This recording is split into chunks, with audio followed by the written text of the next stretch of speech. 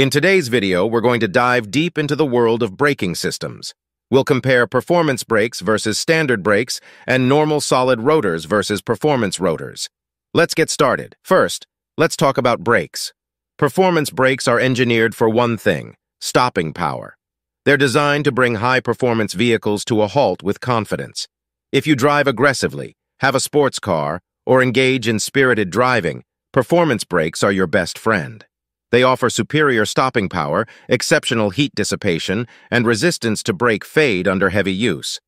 These brakes mostly used on super and hypercars to help stop these beasts from crazy speeds to complete stop in good, safe time. On the other hand, we have standard brakes. These are your everyday, reliable brake systems found in most vehicles. They're designed for typical driving conditions, such as commuting and regular use. They may not provide the same level of stopping power or heat resistance as performance brakes, but they're cost-effective and durable for the average driver. Now let's explore the world of rotors. Slotted rotors like these have distinctive grooves or slots on their surface. These slots enhance brake pad bite, reduce brake fade, and help disperse water and debris, maintaining consistent braking even in adverse conditions.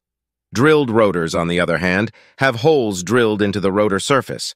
These holes offer excellent heat dissipation, reducing the risk of brake fade and enhancing braking performance. They are often chosen for high performance and racing applications.